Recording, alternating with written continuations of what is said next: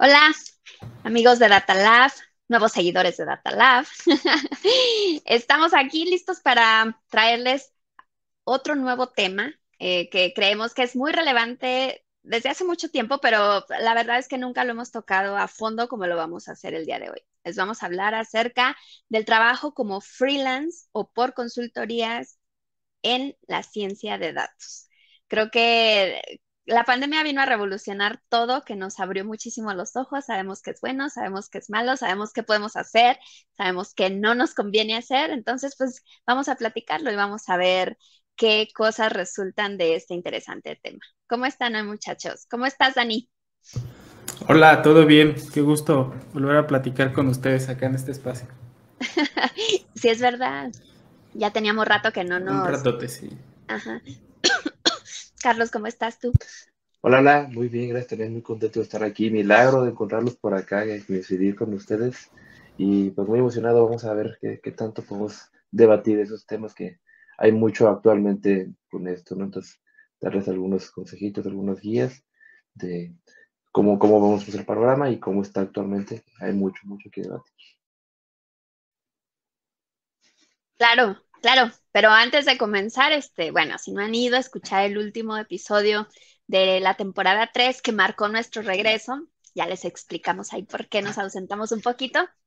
Pues vayan y escúchenlo, la verdad es que está bien interesante. Hablamos sobre, sobre esa carta que escribieron algunas personas para sugiriendo detener un poco el desarrollo de la inteligencia artificial, ¿no? Un tema también algo bastante controversial, así es que si no lo han escuchado, pues escuchen este primero y luego van y escuchan aquel. en el orden que ustedes prefieran, pero no lo dejen pasar porque la verdad es que hay opiniones muy, muy interesantes y pues es algo en lo que podemos contribuir con el, al conocimiento de, toda nuestra audiencia, ¿no? Sin más preámbulo, pues vamos empezando.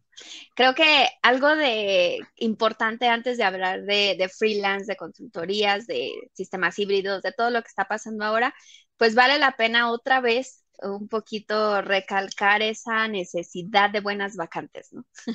¿A qué nos enfrentamos cuando vemos una vacante que, que creemos que no sabemos si está bien definida, si, si en realidad es lo que nosotros queremos hacer, si nuestros skills cumplen con todo lo que la, vacante está necesitando. Entonces, no sé, ¿qué han visto ustedes últimamente? ¿Será que desde el boom de la ciencia de datos y, y todos los años que ya han pasado, ya aprendimos a, redactar un poco mejor las vacantes que tenemos para los roles de datos? Lo dudo, lo dudo un poquito, pero creo que sí es un tema muy fundamental, ¿no? Realmente eh, todo esto de freelance a partir de ahí empieza, ¿no? Y más que nada también luego se freelance y no sé si esté también igual de bien definido o hay veces que también esas compañías no lo tienen tan bien que están buscando o buscan eh, un perfil para este, ocupar muchas cosas entonces creo que sí sigue siendo un problema y creo que aquí también se va a dar un poquito más ¿no? de cómo, cómo lo tiene definida la compañía. Depende mucho de la estructura para ese, ese freelancing, ¿no? Sí, yo algo que he visto, eh, digo, ahorita nos regresamos a la definición de las, de las vacantes. Lo que he visto es que ya hay más empresas no relacionadas a tecnologías de la información que, han, que han estado liberando este tipo de, de posiciones. ¿no? no sé para qué, la verdad es que yo no me he salido mucho de, del mundo de tecnologías de la información. Entonces, eh, sé que la ciencia de datos, pues obviamente abarca, puede ser aplicada en todos los sectores. Eh, lo que me sorprende mucho, al menos aquí en México, es que, que sí, o sea, lugares como de agricultura, como de, desarrollo de, no desarrollo, de fábricas de zapatos, otros sectores industriales ya están eh, como interesados en, en la ciencia de datos. No sé si ustedes han visto algo así. Sí, creo que tiene que ver con lo ampliamente distribuido que ha sido los últimos modelos, los más famosos, ¿no? A mí me llama mucho la atención que ahora con los modelos de texto, gente que a lo mejor no estaba enterada de, cómo funcionan los datos y demás, al menos ya saben que existen, al menos ya le han preguntado un par de cosas, este, y eso te da una exposición diferente, entonces la gente que está en las empresas, a lo mejor apenas si saben usar su celular, pero este ya piensan, oye, ¿por qué no estoy haciendo nada con esto de la tecnología que se ve muy interesante? ¿No? Sí, no sé, incluso ahorita que decías de las vacantes, digo, no sé si ya hay alguien que, que haya intentado pedirle que te escriba una vacante, algún modelo de texto, y te da, pues, te da una definición genérica, este, y no sé si alguien ya haya, pues para solventar este tema de que a veces hay un gap entre los equipos técnicos y el equipo de, contratación, que hayan tratado de, mejorar las vacantes a través de, los modelos de texto. De bien o mal, creo que va a seguir siendo lo mismo, ¿no? A fin de cuentas, tienes que saber decirle a ese modelo de texto, más o menos expresarle qué necesitas, porque igual si sigues dando una, alguna idea muy abierta, va a seguir la vacante sin ser tan concisa como a lo mejor nos, nos gustaría. Entonces, creo que sigue todavía dejando esa pequeña brecha. De hecho, ya se abrió una nueva posición, ¿no? Para ese tipo de personas que, que ya son, eh, ya nada más piden cosas. Eh, hace poco recuerdo esa, ese diálogo en Twitter, ya ven en Twitter los diálogos tan polites que nos aventamos ahí. Entonces eh, salió esta nueva, nuevo rol que se llama Prompt Engineer, que se supone que es un ingeniero pues que sabe cómo pedir cosas, ¿no? Y, salió a raíz precisamente de, esto, de que existen estos modelos y que les estamos constantemente pidiendo cosas, pero pues hay que pedirlas bien, ¿no? Para que realmente tengan un resultado bueno para nosotros. Entonces, pues eh, tengo mis, mis eh, comentarios cerca. Sí, sí, sí, como que creo que es demasiado pronto, pero bueno, creo que ese es tema para otro podcast. y si volvemos otra vez acá al, al, de las vacantes, el gap que mencionaba Dani, que existe todavía, eh, sí, yo creo que, no sé, sigue habiendo ahí un problema de, comunicación, de, desarrollo de, las vacantes y creo que a veces incluso también los equipos técnicos nos da flojera hacerlo y las hacemos muy, muy, muy generales. Así como que, ay, con que sepa de esto y de esto y de esto, pues ya estando aquí, ya que ya le, le decimos exactamente qué es lo que vamos a hacer, ¿no? Pero suena bien cuando tú estás dentro del equipo y la haces muy generalizada, pero cuando eres el candidato, que está viendo la vacante dice, no, es que pues no, en realidad te genera muchas dudas porque no sabes a qué te vas a enfrentar realmente al llegar a la empresa. Así es, y más es como, como dice ahorita Dani, que a lo mejor se están teniendo ese, ese auge con todo eso, pero realmente piensa que una sola persona puede hacer todo, a lo mejor eh, limpiar los datos, hacer el modelo y todo eso y dar los resultados, pero pues a fin de cuentas realmente en la práctica no con una persona te va a dar todo, ¿no? Entonces, este, creo que es eso más que nada que a lo mejor hay quienes no tienen a lo mejor toda esa, esa área como para saber segmentar este, cómo está, porque ya a lo mejor ya en un poquito de un grupo más especializado, creo que debe ser más sencillo, pero vamos viendo qué tanto nos encontramos. Sí, sí, sí. Aparte, este, creo que hay un un patrón ahí en ese tipo de trabajos que a mí al menos me han comentado muchas personas que conozco. Cuando una vacante está demasiado, la descripción de una vacante está demasiado generalizada, por lo general a veces llegas a esa empresa, digamos que pasaste todos los filtros y llegas, pero te ponen en lista de espera, porque, porque sí, o sea, la empresa está utilizando, no sé, Spark, eh, Pandas, qué sé yo, pero todavía no tienen un proyecto definido para la persona. Todavía solamente saben que necesitan gente y empiezan a reclutar la gente y por eso hacen la, vacante tan generalizada. Pero una vez que entras te dicen, ah, no, pues espéranos tantito, se está definiendo el proyecto. O el proyecto para el que te contratamos ya, ya no se hizo, pero, pero estamos eh, en desarrollo de otros. O sea, te ponen en lista de espera, cosa que no está mal si te están pagando, pero si tus ambiciones no son esas de estar esperando, sino de estar haciendo cosas, pues no creo que sea muy conveniente. Y bueno, este, ¿qué decir de los que generan, eh, generalizan roles, ¿no? ¿Les ha tocado ver esas vacantes unicornio? Y que te pagan 10 mil pesos.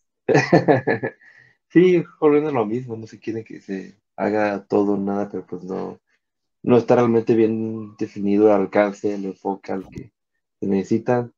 Bien o malo que ya tenga tanto tiempo todo esto de, datos sigue a lo mejor estando muy nuevo para ciertas personas. Entonces, este, pues sí, no, no, una sola persona no, no va a hacer todo definitivamente, este, pero pues para algo se debe empezar. pues es un riesgo, ¿no? Al final de cuentas que tenemos que asumir. Pero si a mí me permiten dar un consejo, yo creo que la relación entre eh, talent acquisition y, el equipo técnico debe de ser más, más cercano. Para que, eh, digo, no estoy en contra de las vacantes generalizadas, pero siento que sí las pueden acotar un poquito más. Si hay unas que están demasiado descabelladas. Entonces, incluso fusionando roles, ¿no? O sea, no, no somos todólogos. Sí hay personas que les gusta hacer de todo, pero, pero también hay otras que, que sí tienen su, su pad un poco más encaminado a cierto rol y pues ahí ya están perdiendo público, ¿no? Si no, si no definen un poco, un poco mejor. ¿Y cómo afecta todo esto? Digo, ya hablamos de las vacantes y, de, lo malo, lo bien que están eh, redactadas, pero cuando decides eh, ser freelance o cuando decides trabajar para una consultoría, yo creo que es algo que te hace pensar más, ¿no? Eh, genera, como más estrés ese pensamiento de incertidumbre, creo yo. Claro. Sí, yo creo que ese es trabajar lo mejor este, para alguna consultora como freelance si tienes como que cierta inestabilidad podría ser. Ahora sí que no, no esa fuerza, puede ser que haya una, una consultora que sí te dé un poquito más de, más de certeza, de seguridad, pero creo que en general lo que todos a lo mejor como que sentimos un poquito, ¿no? Que no te da la misma estabilidad que a lo mejor una empresa un poquito más consolidada, que, que, tenga este, algo ahí, ¿no? ¿Tú qué opinas, Ok, nada más, como consultora se refieren a las empresas que, que contratan a, estas personas, pero para ubicarlos en otro, en otra empresa, ¿no? y realmente como como que real, ellos te contratan, pero realmente no es una especie de subcontratación. Eh. Exacto. Así es. Sí, sí, sí. Pues creo que el tema de, las vacantes en ese caso, pues no sé, casi siempre depende de lo que pide también un cliente al final, ¿no? Eh, puede estar tan bien o tan mal definido como esté el equipo interno que, está solicitando la vacante. Sí, prácticamente en resumen, ¿no? Sí, el, lo de freelance ahorita estaba pensando, digo, al final cuando empiezas como freelance, tienes como dos opciones básicamente para, para empezar a conseguir trabajo, o tal vez tres. Empezar a trabajar con una empresa que ya conoces o con gente que ya conoces, que ya conoce tu trabajo y ya han trabajado antes. Eh, depender de tu red cercana para que te recomienden y te, empiecen a ampliar este, las oportunidades o aplicar a cualquier vacante bien o mal definida que te encuentres y tratar de entender qué es lo que quieren de fondo y demostrarles cómo, cómo tu perspectiva puede ayudarles a, terminar de definir o a, mejorar esa parte del proyecto, ¿no? Claro. Sí, sí ahora sí que sí necesita mucho networking en eso de, del freelance, ¿no? Este, sí, o sea, hay una serie de habilidades extras, aparte del trabajo como tal que ya haces, que necesitas desarrollar. Como un poquito quitarte la pena de estar molestando a la gente. Bueno, no sé, es una, es una línea muy delgada. Es una línea muy delgada entre no ser molesto y al mismo tiempo seguir buscando, porque si no consigues más trabajo, pues literalmente no comes, ¿no? Yo creo que es una manera de decir arriesgo menos. Digo, siempre cuando vas a un trabajo donde alguien te refirió de, o, conoce a una persona que trabaja ahí, pues te, da un poquito más de seguridad, ¿no? Eh, con el simple hecho de decir, bueno, esa persona trabaja ahí, se ve que está bien. No quiere decir que a ti te va a ir igual, ¿no? Porque pues puedes caer en otro equipo, con otros managers, eh, todo totalmente diferente pero al menos conoces una persona que está en esa empresa. Cuando aplicas a LinkedIn o en otra plataforma de, de, ofertas de trabajo y no conoces a nadie que trabaja ahí, pues creo que la incertidumbre crece un poco porque es una empresa totalmente desconocida y más si quieres aplicar para la forma remota, ¿no? Porque no, no los vas a conocer, no sabes en qué lugar vas a caer cuando es presencial, pues bueno, dices, ah, ok, pues voy a ir a la oficina, voy a ir a hacer la entrevista. Ahí es como cuando compras una casa o rentas una casa, entras y si te da como que esa sensación de, de comodidad, dices, ah, sí, sí, aquí es. Pero eso es en presencial, ¿no? Y en remoto, pues no tienes esa opción, porque todos los talent acquisition son muy buena onda. Todos te tratan bien y, la mayoría te quiere hacer sentir bien para que continúes con el proceso. Pero pues eh, después de pasar todos esos filtros de, entrevista, pues ahí viene ya lo, lo complicado, ¿no? Y caer a un lugar que totalmente desconocido, pues siempre va a ser un arriesgue para bien o para mal. Sí, claro. Sí, es, creo que esa, esa modalidad de, de contractor creo que ha, crecido mucho y ahora sí que hay muchísimas consultorías que a lo mejor hay, unas muy, muy famosas así, pero yo creo que ya hay muchas pequeñas consultorías que tú ves y bueno, y esto que onda y, al final resulta que no terminas trabajando para ellos, trabajas para quién sabe quién, entonces sí, a lo mejor al principio es como que eh, pues esa duda, no sé qué onda, cómo va a estar el asunto, el esquema y todo eso. Eh, pero bueno, pues debe tener sus ventajas y desventajas, ¿no? Yo he visto muchas buenas que a lo mejor hay, hay interesantes que para trabajar en empresas fuera del país, eh, con salarios en dólares y así, pero pues también debe tener sus desventajas, ¿no? Este, a cambio de que a lo mejor también muchas de esas este, no te dan los mismos beneficios que una empresa ya este, consolidada, eh, no tiene ni siquiera seguro social o cosas así como para Infonavit muy básico.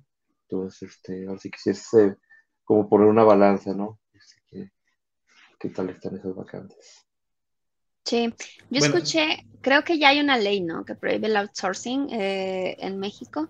Entonces ya por al menos las prestaciones de ley ya las deberías de tener. Que hagan sus chanchullos, pues ya es diferente, pero pues esa es otra parte que a nosotros como trabajadores pues nos, nos concierne, ¿no? Qué es lo que quieres. Hay personas que definitivamente prefieren tener más efectivo que tener prestaciones y eso está bien porque pues ellos deciden, ¿no? Cómo, cómo quieren vivir y sí, pues cómo se administran ellos. A lo mejor a lo mejor alguien quiere pagarse su propio seguro de gastos médicos, pero recibir más, más, más efectivo de, por parte de la empresa y pues eso también está bien, también es válido. Sí, eso iba a decir yo también, que espero que te refieras a una consultora que no paga lo del seguro y demás sean empresas eh, internacionales y que no están ubicadas en México y por eso no tienen la obligación de si es alguien de México siempre te deben de pagar, sí. Siempre debe estar cuando menos lo de ley incluido ahí en, el paquete. Ya si trabajas con una empresa que está en Estados Unidos y que el cliente es de China y demás, pues ahí sí ya te toca a ti administrarte, como dice Teresita. Sí, el problema es que yo sí he visto que hay así opciones así, ¿no? Que no necesariamente, bueno, supone que a lo mejor es tu cliente en Estados Unidos y así, pero supone que la empresa es aquí, sabe cómo, cómo es el asunto, el chiste es que tú tienes un solo salario. Entonces, ayer sí como que es prácticamente una combinación, ¿no? Porque termina siendo como freelance, porque a fin de cuentas no estás registrado directamente con en una empresa, en el seguro social y eso, termina recibiendo tu paga y haciendo a lo mejor hasta una factura, este, para cubrir esos este, impuestos sobre la renta y todo eso, pero a lo mejor te da otras clases de beneficios, pero no tal cual estás eh, registrado. Sí, yo sí he visto que hay opciones así, no sé realmente cómo, cómo se pasa en esa, esa parte de, de la ley de contratación. sí. sí, yo he visto otro caso donde, o sea, trabajas directamente con una empresa extranjera, pero hay empresas eh, globales que se dedican a hacer el contrato de acuerdo a la ley del país. Por ejemplo, una empresa muy famosa, por si quieren investigar, se llama Papaya, así como la fruta. Entonces, esa empresa es, se dedica simplemente a hacer el contrato legal entre una empresa en el lugar que sea y un empleado en el lugar que sea. Entonces, eh, ya ellos buscan la manera de que el empleado tenga las, las esté contratado con, bajo las leyes del, país, pero que también tenga los beneficios que la empresa extranjera le, le, pueda ofrecer, ¿no? No sé si le ofrecen un bono de... Eh, por uso de internet y de luz y todo eso, porque trabaja obviamente remoto, eh, a lo mejor esa empresa puede arreglar que ese, ese dinerito extra pues venga libre de impuestos. ¿Cómo le hacen? No sé, pero eso es, es es parte de su trabajo, ¿no? Y, y pues esa también es, es, es, otra buena opción, sin embargo, pues eso ya es parte de, de la empresa, o sea, esa no la contratas tú como, como empleado, sino que si la empresa cuenta con esa, ese servicio de esa empresa, pues está chido, ¿no? Ya te ahorra a ti muchísimo trabajo andarte buscando un contador para, para ver eso de los impuestos o, cambiarte de ISR, no, de, no sé cómo se le llama esa El régimen, ajá. El, régimen, fiscal, ajá. Sí, sí, sí. Sí, ahí, ahí, puede salir un tema importante de cuando empiezas como freelance, eh, no, no dejar de lado la parte de los regímenes y las opciones que tienes para trabajar, ¿no? Y qué, qué, como decía Carlos, qué ventaja y qué desventaja tiene cada uno. Ahorita hablaban de, bueno, si me están pagando por honorarios y yo voy a estar generando una factura, pues también no debe haber una relación o algo que te obligue a trabajar cierto tiempo. No es un riesgo para ti que se acabe el trabajo y también debe ser un riesgo para la empresa el, el que tú dejes de trabajar y por eso no generan relación este, laboral y demás. Sí, no sé, ahorita mencionaba lo de papaya, hay que conocer todas las, las opciones o las formas en las que puedes recibir tu compensación, este, cuáles te van a generar impuestos, cuáles no, eh, acercarse también a asesoría, como dicen, eh, financiera y, y, contable de cómo tienes que este, pues presentar esto ante la entidad fiscal, sí les puedo decir que hay gente que lleva toda la vida viviendo en la informalidad de fiscal, o sea, que no pagan impuestos, que están, tienen sus negocios están trabajando y nunca tienen un problema con el SAT o la entidad fiscal, la que quieran.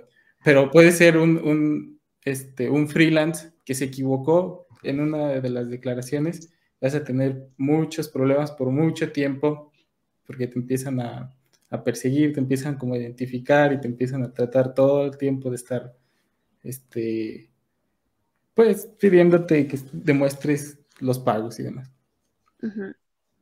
Sí, sí, los si no son organizados como yo, que, que no guardo nada de papeles. Exacto.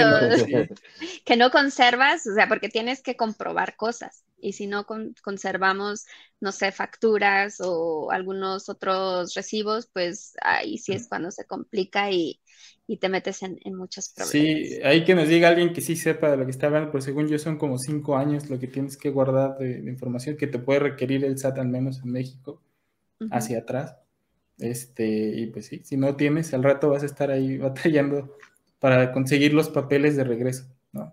Y el otro lado que no se debería de saltar cuando empezamos como freelance, que a veces es pesado, es eh, la parte legal, tener un contrato y revisar bien los contratos que estás firmando con las empresas y a qué te obligas y qué no te obligas. Y especialmente importante en la parte de datos, creo yo, porque tienes, vas a tener acceso a información y probablemente esto va a incluir un NDA y probablemente esto, los NDA suelen tener eh, cargas muy fuertes, multas muy fuertes por el, eh, sobre qué es vulneración de datos o cuando estás afectando a la, información de la empresa. Entonces, si, si, no le pones ojo a eso, también te puede traer mucho problema después. Pero aún si si te piden trabajar de fondo, ¿no? Ahí de, ah, pues así, sin contrato, está bien, y te vamos pagando por acá, sí, pero cuando llegan los problemas, no hay ninguna base legal de por qué estabas trabajando con ellos, ni de quién iba a ser la responsabilidad de cualquier problema que llegara a haber, sí, entonces, sí, imagínate, te empiezas a trabajar en una empresa y alguno de los, de los proyectos donde estás trabajando, este, tienen un problema productivo y pierden cierta cantidad de datos de un cliente, ¿no? ¿a quién le van a echar la culpa? Te van a, quién van a demandar por eso? ¿no? ¿Quién es el responsable de eso? y si no tienes un contrato que te avale y te diga, no, mi responsabilidad terminaba hasta aquí, pues vienen toda clase de problemas. También viene la parte de las empresas que no te pagan y no tienes cómo, cómo obligarlos, ¿no? A lo mejor te pagaron bien uno, dos, tres meses y luego ya dejó de llegar el dinero y no tenías un contrato, no tenías una forma de, de respaldarte y decir, no, habíamos quedado que íbamos a trabajar durante todo este tiempo bajo estos términos, con estas condiciones y así.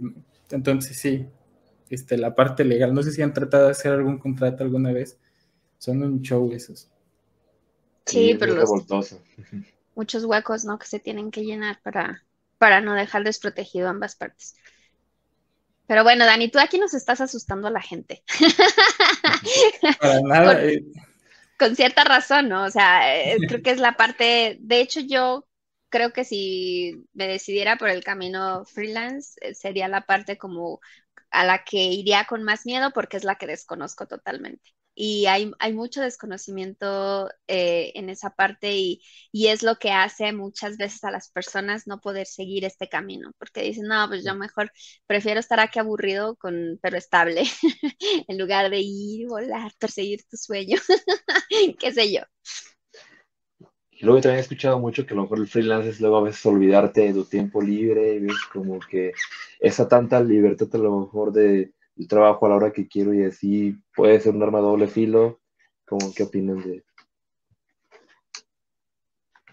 Sí, eh, yo creo que ya se parece mucho al trabajo remoto, ¿no? O sea, en ese sentido, eh, son iguales porque pues estás desde casa, en una cafetería, donde tú quieras, pero es diferente porque cuando estás remoto sí tienes un contrato de tiempo completo, por lo general.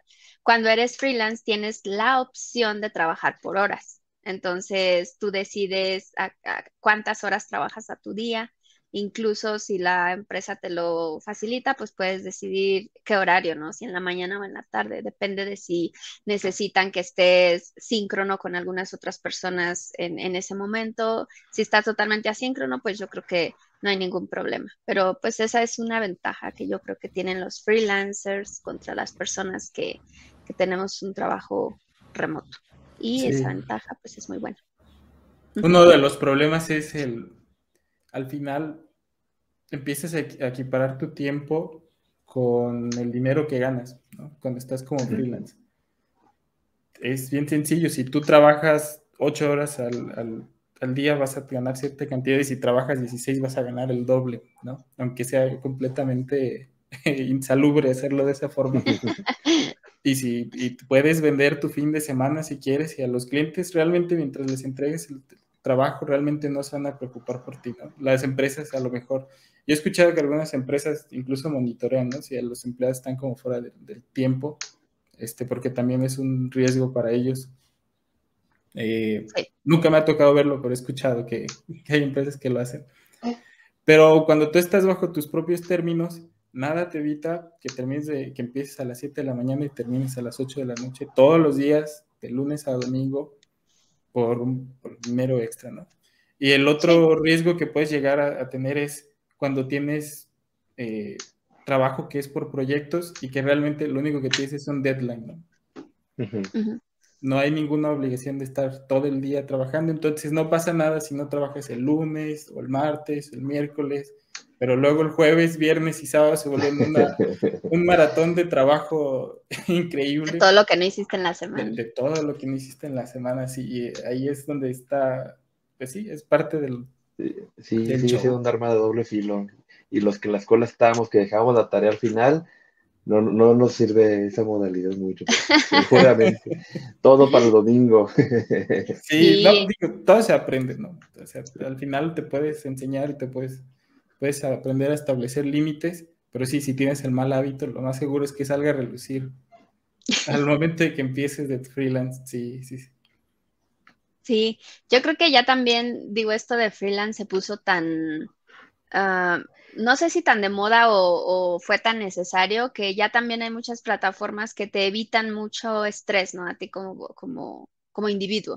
O sea, ya te registras en una plataforma, ellos exhiben tu perfil, eh, tú ya no tienes que andar buscando trabajo porque al contrario, las empresas son las que, las que buscan y deciden si tú, si leyendo tu perfil eres la persona que hace match con lo que ellos están buscando, te contactan, eh, a lo mejor te hacen algún test, otras, en otras ocasiones no, porque se supone que antes de que tú te des de alta en esas plataformas ya hiciste test de test técnicos. Eh, y entonces, pues ya, em- empiezas a trabajar directo con, con la empresa y te ahorran mucho todo esto que hemos mencionado, ¿no? De los contratos y, y- cosas legales. Están pues más esclarecidas y hay más, hay más gente participando ahí, entonces es, es como si estuvieras trabajando en una empresa virtual. sí, esa es otra de las, de las ventajas. Pero estaría chido que si algún freelancer tiene otra experiencia a estos happy pads que nosotros hemos estado trabajando aquí, porque supongo que hay muchísimas otras, otras cosas que debemos de considerar. Déjenos sus comentarios, sería, será muy interesante eh, tenerlos en mente, leerlos y, y empezar una discusión acerca de ellos. Porque algo de lo que no hemos tocado mucho, ahorita hemos estado hablando del freelance en general, pero cuando ya es relacionado a ciencia de datos, es muy diferente en el sentido de, que, como dice Dani, estás accediendo a datos, estás accediendo a una propiedad que, es muy eh, sensible, son datos sensibles y que incluso debes de cuidar hasta si te envían una computadora o tienes que trabajar desde tu misma computadora. ¿Por qué? Porque si ellos te envían una computadora, algo tan sencillo como esto, si ellos te envían una computadora, eh, ellos pueden eh, disponer sobre todo lo que hay en ella, todo, todo, todo. Pero si tú estás trabajando sobre tú, en tu computadora, eh, ellos podrían adueñarse también de todo, siendo que también hay cosas tuyas. Incluso podría surgir en el peor de los casos una demanda por tener datos en tu computadora, o sea, físicamente. Sabemos que ahorita, les voy a dar un ejemplo aquí en mi empresa, o sea, yo no puedo tener datos en la compu a pesar de que ellos me la enviaron. Todo es trabajarlo en la nube, o sea, nadie puede tener datos en su, en su computadora porque las computadoras se pierden, ¿no? Te la roban, qué sé yo. Entonces no debe de haber nada ahí.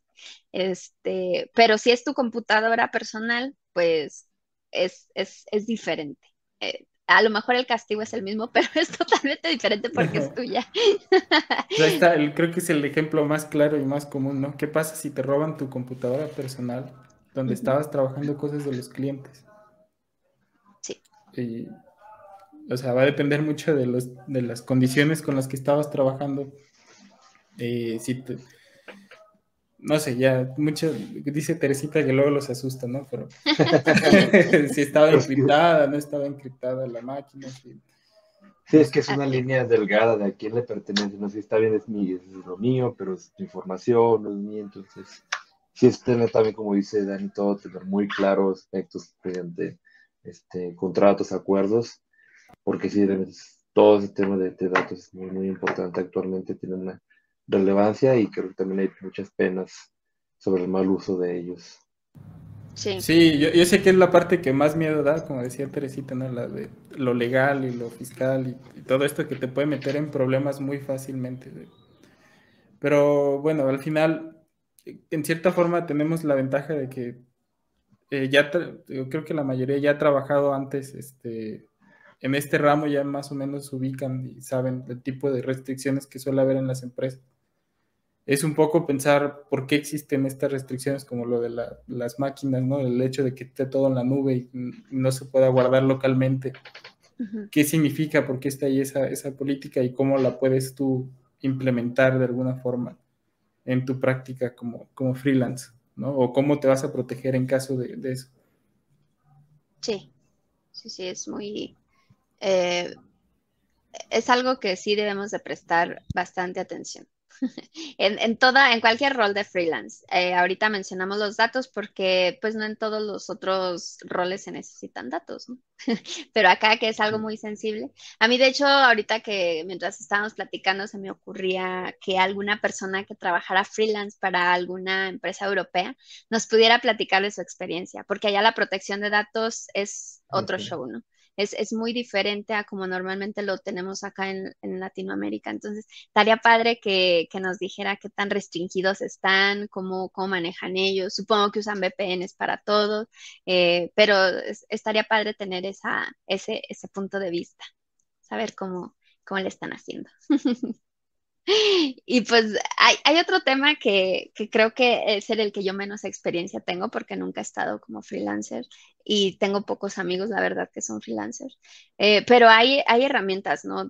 Digo, siempre buscan los freelancers eh, la mejor opción para recibir sus pagos, eh, donde les cobren menos impuesto, qué sé yo. Yo creo que eso es algo de lo que de, las, de los primeros pasos que, verifica una persona que se ha decidido a ser freelancer.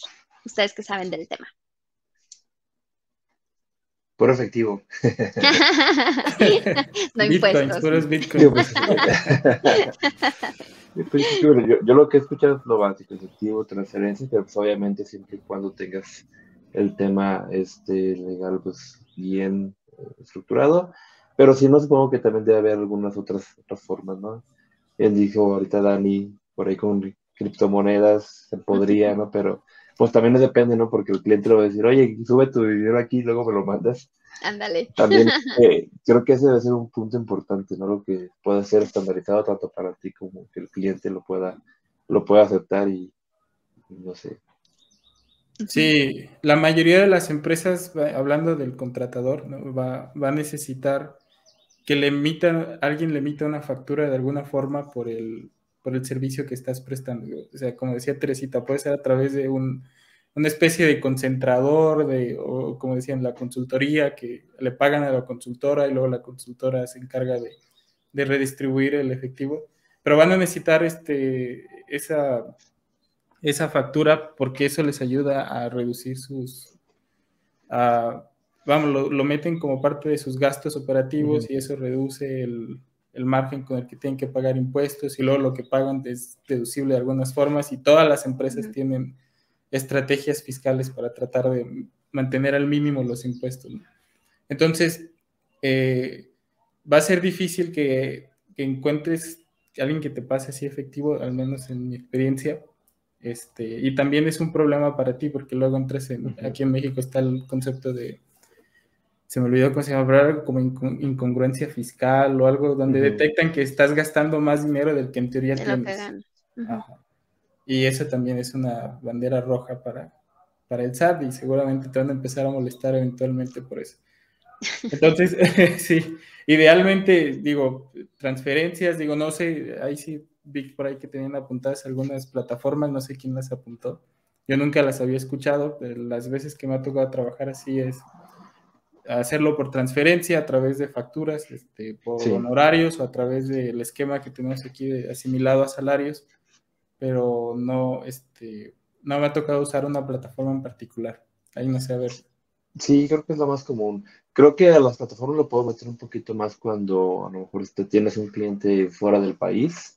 Mm. A lo mejor ahí sí, porque también este, transferencia a lo mejor puede ser un poquito más complejo, eh, transferencia interbancaria de otros países este, creo que ahí puede a lo mejor tocar un poquito de tema, mejor por PayPal o otro estilo, pero creo que sí, eh, dentro del país lo, más estándar es una transferencia y ahí te va tu factura, ¿no? Volviendo a lo mismo, hay que tener todo en regla. Este, sí. sí, yo sé que es tedioso, pero hay que tener en regla la parte fiscal. no saben cuánto dinero se va en eso de... Eh, sí.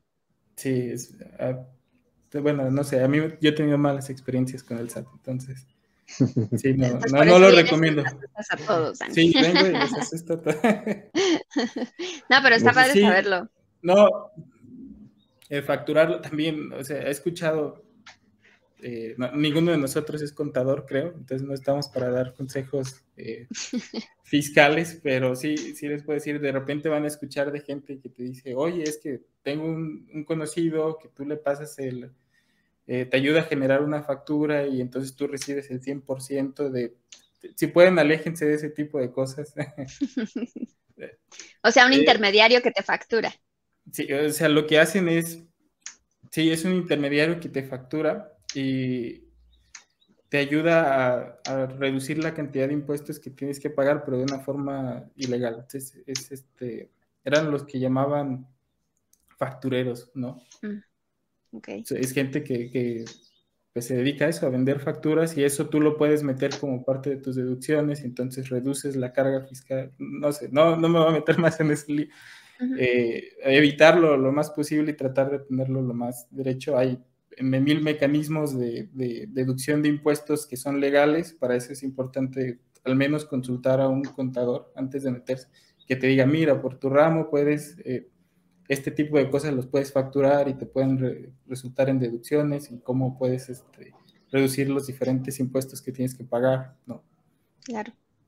Necesitamos un podcast completo de todos los, sí, no el conocimiento. Genial y, todas las cosas que le ha pasado a Dani, a ver qué, qué tanto para que nos siga asustando. No, no, de preferencia alguien que sí sepa. Yo, yo sí me aventé muy así, muy salvaje a, hacer freelance. Eh, yo estaba trabajando en IBM y el año de la pandemia, en el 2020, pues no sé, me, me entró la, la curiosidad, este, importante, digo, pues junté cierta cantidad de dinero, no eran como seis, siete meses de lo que he ganado, para poder aventarme. Y ya este, renuncié y me puse a hacer eh, trabajos de, pues yo trabajo principalmente con SAP, ¿no? Consultoría SAP. Y consultoría SAP es este, es un poquito más fácil porque el modelo de, de freelance no es tan raro porque muchos proyectos de SAP son proyectos a corto plazo, son tres, seis, nueve meses. Entonces no es tan raro que te contraten por tres meses y luego otra vez ya se acaba el proyecto. Eh, de este lado creo que no es tan difícil, no sé cómo sea en ciencia de datos en particular, la parte de, los datos. Eh, ah, pues me aventé, eh, ya tenía por ahí un cliente, me puse a trabajar con este cliente, conseguí un par más, me pasó todo lo que les platiqué, me pasó eh, de, dejar el trabajo para el final, tenía un proyecto que, que, estaba planteado para tres meses y empecé al segundo mes, porque así como dice Carlos, yo, yo siempre fui a la escuela a dejar el trabajo hacia el final. y aprendes a la mala, así la cantidad de estrés eh, fue horrible, fue horrible la cantidad de estrés que me provocó eso y pues tuve que aprender a poner orden y a ponerme a trabajar, a tener mi o sea, mi propia oficina para tener mi espacio aparte de para trabajar. Este, antes de, tener este espacio, eh, aunque estábamos todos de forma remota y todas las empresas estaban trabajando de forma remota por lo de la pandemia, yo me fui a trabajar a un coworking, me fui aquí a, a donde íbamos, donde estaban dando las conferencias. Este, ahí renté un espacio, porque separar el, el trabajo de la casa es muy difícil. ¿no? de tu vida personal es muy difícil. Si trabajas, donde duermes y donde comes, y eh, todo se vuelve complicado y de repente estás está acostado y de repente piensas en una solución y te pones a trabajar y al mismo tiempo te da... Es, es horrible. Entonces tuve que hacer un espacio físico entre mi trabajo y, y mi vida personal para poder tratar de avanzar de alguna forma con mis pendientes eh, sí, la parte del SAT al principio no tenía una contadora, estuve haciendo las, declaraciones como pude, eh, pagué muchísimos impuestos de más por eso. Sí, sí nos estaría bien padre que nos contaras toda tu experiencia full, Dani. Oye, a veces nos gusta mucho aprender en cabeza ajena. Sí, oye Dani, ahora que tú tienes experiencia, ¿cuál dirías tú que es como que el paso así, paso seguro para dar ese salto en cuanto a un trabajo normal a un freelance? En base a tu experiencia, que es este, así, así, así, estos pasos para que no, no morir en el intento. Sí, ya, ya mencioné dos importantes, creo. Una es la tener bien llegada la parte legal y la parte fiscal o sea, todo lo de impuestos y cómo vas a eh, relacionarte con tus clientes es, muy importante. El otro es tener un colchón porque es un... Eh, es muy variable si vas a tener o no vas a tener efectivo en, los meses. Ah, sí, sobre un, tiempo, sobre todo si no tienes a un cliente identificado cuando ya vas a hacer el salto. Eh, lo que les decía sobre es, muy importante que empiece a trabajar de freelance sobre un área que ya conoces, que yo creo que es la mayoría, ¿no? La mayoría trabaja y dice, oye, por este trabajo por fuera me pueden pagar esto y por la empresa me están pagando esto y es como donde pueden eh, encontrar ese, ese gap y poder saltar hacia ser freelance, pero sí es importante que conozcan el, el ramo donde se van a meter para que sepan cómo está el mercado, qué práctica suele haber, este, qué van a esperar de ustedes los clientes. Y que eso no te vaya a afectar en el futuro, ¿no? Y el otro, sí, quitarse un poco la pena, hay que estar contactando gente, hay que estar aprendiendo. Es difícil, por ejemplo, yo, yo soy muy introvertido. A mí esa parte siempre se me ha hecho muy difícil, de estar contactando a las personas y estar este, buscando, buscando y molestando. Sí. Oye, ¿qué más necesitas? Necesitas tener bien un portafolio, este, el networking, que, Sí. que con, Ok. eso, con eso es más sencillo. Networking es importante, el portafolio ayuda mucho eh, si, por ejemplo, en la parte de ciencia de datos, si pudieras resumir qué es lo que has hecho, eso es como una carta de presentación, ¿no? algo que le puedes dar a tus clientes.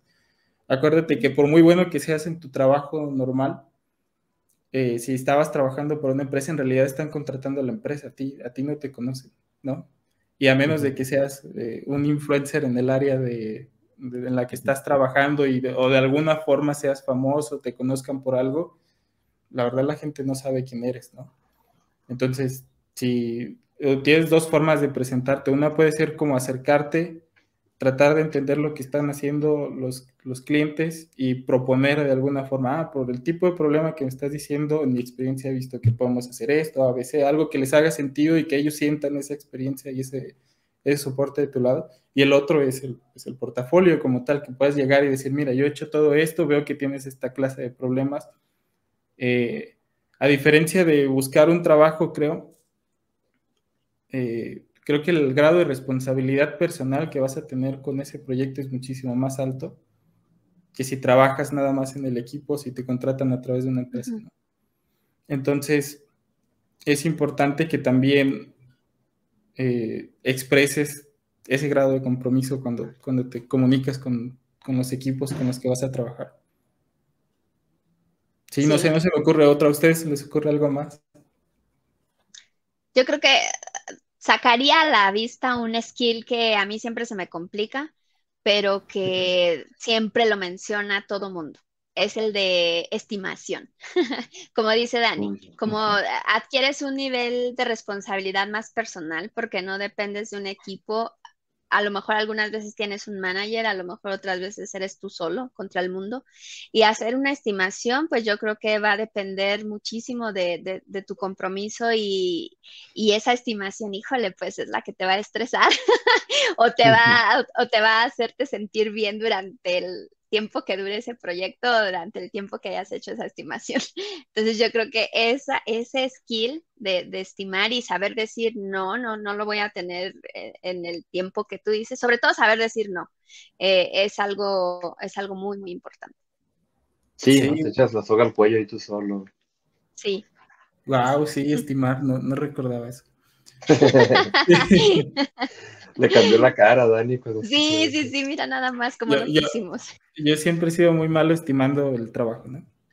Eh, si, algo, si algo aprendí en este tiempo es no hacer estimaciones al aire. O sea, Sí, eso. yo sé que todas las estimaciones van a ser malas, siempre, porque no, no sabemos qué está delante de nosotros, ¿no? Y, y lo, lo único que me funcionó a mí fue sentarme, hacer una lista de tareas, literalmente de todo lo que me imagino que puede pasar, hasta ponerles un tiempo a, a cada actividad y luego agregarle un extra de, de tiempo. Y luego sobre ese tiempo total, ahora yo tener un compromiso interno mío que es menor al que viene ahí en el... O sea, tener una, una deadline personal y una deadline para el cliente. Pero sí, Sí. Es, un, es un rollo, sí. Y también el otro lado es, ¿qué pasa si ya se te pasó la estimación? Si ya vas tarde con el cliente. Aquí va a ser muy importante que nadie más va a responder por ti. Si tú vas tarde, tú tienes que pararte con el cliente y decirle, no alcanzamos, cuál va a ser el plan para corregirlo, cuánto tiempo nos va a tomar, y pues eso, va a aguantarte el, este, el regaño o, o- o las ganas de esconderte, porque dan ganas de esconderse de... Sí, ahí vuelve a reducir esa capacidad de negociación, ¿no? Que también creo que es muy importante, tanto para, no solamente para hacer conciliaciones o así que negociar, sino también, pues en esa parte, ¿no? Cómo van avanzando las cosas, porque luego también seguramente pasa el que hay que negociar, este, requerimientos que no estaban plasmados en un inicio, cambios de requerimientos, y eso también es muy delgado, entre, no, pues que no, esto no está cubierto, esto sí, esto ya no. Entonces, creo que esa capacidad de negociación también es un punto muy importante a recalcar. Sí, lo que dice Teresita, decir no, ¿sabes? Que te llegan y te dicen, oye, pero nos acabamos de dar cuenta que nos hace falta también esta parte. Pues digo, al final tú también eres un negocio y también tienes Sí, que sí, poner sí. límites y decir, bueno, pues estaba fuera de nuestro alcance. Y de nuevo, ahí regresa lo de los contratos, ¿no? que tengas bien estipulado cuál era tu alcance, porque si no nos empezamos a meter en problemas. Sí, que te lo bien plasmado y decir, mira, aquí está, que pues recordamos esto, esto y esto, A, B y C, pues el 1, 2 y 3 no, no entra. Sí, sí, sí. Y, sí. y cuando vas tarde con los trabajos, digo, me, me trajo muchos traumas eso, pero eh, ser muy claro en el, ser muy realista con uno mismo en cuánto falta realmente del trabajo porque cuando ya vas con la prisa ya es así de, no, pues ahorita me pongo en la noche y empiezo a trabajar y, mañana, mañana queda, ¿no? Y luego empiezas y mañana, y mañana, y mañana, y no. Cuatro de la mañana, ¿no? No va a quedar. no, no va a quedar, ajá. Y eso da, incertidumbre hacia, hacia los clientes, ¿no? Porque no saben realmente si pueden confiar o no en el tiempo que les estás dando. Sí. Es así de, no, pues a ver, acabo de hacer una estimación, no alcanzamos el día de hoy y según mi, estimado vamos a acabar el próximo jueves. Y ya, o sea, eh, nadie va a estar contento con eso, pero pues es lo, es lo que es. Es lo que hay. Es lo que hay, sí, sí, sí. Así es. Oigan, no, pues para qué recomendar libros, aquí tenemos recomendación, Dani. Él nos puede hablar de lo que es trabajar como freelance. Pero creo que podemos concluir cosas muy interesantes de, este, de este tema, de trabajar como freelance. Una es, hay que ver eh, los términos legales, ¿no? En los que te, estás involucrando. Eh, segundo, esa responsabilidad personal que, vas a adquirir porque eres tú tú. o sea, independiente de que tengas un, equipo a lo mejor por allá o que vayas a estar trabajando tú solo, de que vayas a tener un, manager, un líder, lo que sea, eres tú. Eh, tú eres eh, básicamente el responsable de todo lo bueno y de todo lo malo que pueda pasar.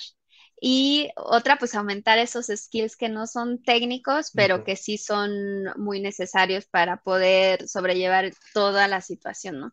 Preguntar, eh, decir no, eh, saber negociar. Esos tres son los que saltan muchísimo aquí en, en mi cabeza con todo lo que nos ha platicado Dani. No sé si ustedes quieren concluir con algo diferente. Digo, también dejar todo siempre bien plasmado, que es algo, y dice Dani, que es algo muy importante, todo este, papelito, tanto no solamente requerimientos, también parte de contratos, parte legal, todo, todo que esté por escrito mejor, escrito, firmado y todo. Dani, una recomendación final. Sí, yo les diría que si tienen curiosidad, no, le tengan miedo. este, es, difícil y todo, pero sí, también es muy interesante. Digo, aprendes muchas cosas. Yo en particular me metí porque tenía curiosidad de, aprender sobre, justamente sobre negociar y sobre vender y sobre cómo, cómo este, pues te promocionas en general hacia los clientes y ¿no? Y sí, uno aprende muchas cosas ahí. Entonces, si tienen curiosidad, pues sí, darse la experiencia, eh, igual no pasa nada, si no funciona, puedes regresar a trabajar en cierto tiempo después de... Y ya, y aprendes muchas cosas. Así es. Bueno, pues con esto creo que concluimos este capítulo. Eh, Carlos, tú tenías una recomendación, ¿no? Aparte de todas las que nos dio Dani. Sí, por ahí explorando, creo que hay una, una página interesante que tiene muchas herramientas y muchos artículos. Y creo que también por ahí he visto algunos videos este, de cómo, cómo introducirte a todo este mundo de freelance que te en cuenta que no. La página que encontré es freelancer.guide. Se ve muy interesante, mucha información, así que también pues para eh, poder y saber a qué, qué, nos enfrentamos y no, no sorprendernos en qué tanto es por ahí. Entonces, Creo que tiene artículos interesantes para darle. Claro que sí. Y si alguien es experto en, esas cosas legales para freelancers ah, o que tenga mucho conocimiento respecto al tema, puede contactarnos. Este, y valdría la verdad la pena tener una plática con, contigo, persona que nos estás escuchando, y, y que nos aportes un poco más al conocimiento de todo esto, ¿no? Y pues bueno, síganos en nuestras redes sociales. Recuerden Datalab MX en todos los espacios. Escríbanos, siempre estamos muy al pendiente de sus, de sus comentarios. Y un último anuncio. Estamos por lanzar, más bien ya lanzamos la convocatoria del Social Data Challenge, eh, la versión 5.0. Recuerden, el Social Data Challenge es un, es un reto de tres meses donde ustedes eh, trabajan con un proyecto social eh, de interés público y lo resuelven utilizando ciencia de datos, inteligencia artificial y datos abiertos. La convocatoria está abierta, pueden revisarla igual en nuestras redes sociales, las inscripciones están abiertas. Si tienen un equipo, qué chido. Si no tienen un equipo, de todas maneras pueden inscribirse, nosotros les ayudaremos con la integración a un equipo. Entonces, estén al pendiente de todos estos anuncios porque el challenge empieza pronto. Muchísimas gracias a todos por escucharnos y nos vemos la próxima. Nos vemos y nos escuchamos. Hasta luego. Gracias. Bonito día. Bonito día para todos.